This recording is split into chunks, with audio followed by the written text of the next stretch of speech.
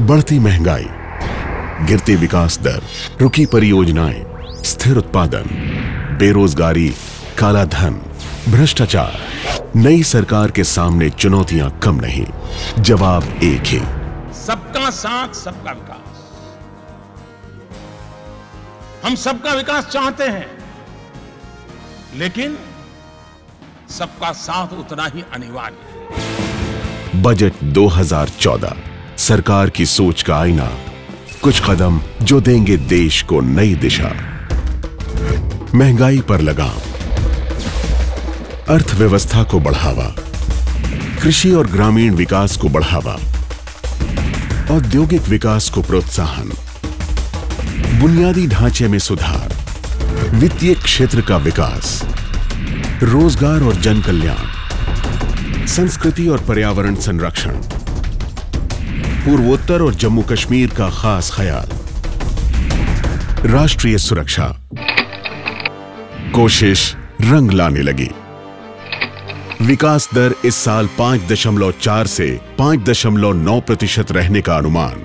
अगले दो तीन सालों में 7 प्रतिशत पार करना तय। थोक महँगाई दर जुलाई 2014 में गिरकर 5.19 प्रतिशत हुई। खुदरा महँगाई दर में गिरावट। अप्रैल 2014 में 8.6 प्रतिशत, जुलाई में गिरकर हुई 7.96 प्रतिशत। उत्पाद शुल्क में छूट के बाद पैसेंजर कार की बिक्री लगातार तीसरे महीने बढ़ी, सात प्रतिशत से ज़्यादा की वृद्धि। नए ऑर्डर्स मिलने से एचएसबीसी मैन्युफैक्चरिंग पीएमआई जून में इक्यावन दशमलव पाँच, जुलाई में बढ़कर तिरपन के स्तर पर। बुनियादी ढांचे के विकास ने पकड़ी रफ्तार।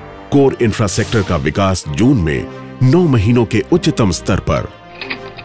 जून 2014 में कैपिटल गुड्स के उत्पादन में 23 प्रतिशत की बढ़ोतरी खराब मानसून के बावजूद अन्य का पर्याप्त भंडार। विदेशी मुद्रा भंडार बढ़ा। जुलाई 2013 में 277 अरब डॉलर। जुलाई 2014 के अंत में 320 अरब डॉलर। चालू खाता घाटा जीडीपी के दो प्रतिशत स्तर पर लाने का लक्ष्य। संरचनात्मक सुधारों पर ज़ोर मिनिमम गवर्नमेंट मैक्सिमम गवर्नेंस का ध्येय। ये तो बस शुरुआत भर है। इरादों को पंख लगा दिए हैं हमने। अब सामने है खुला आसमां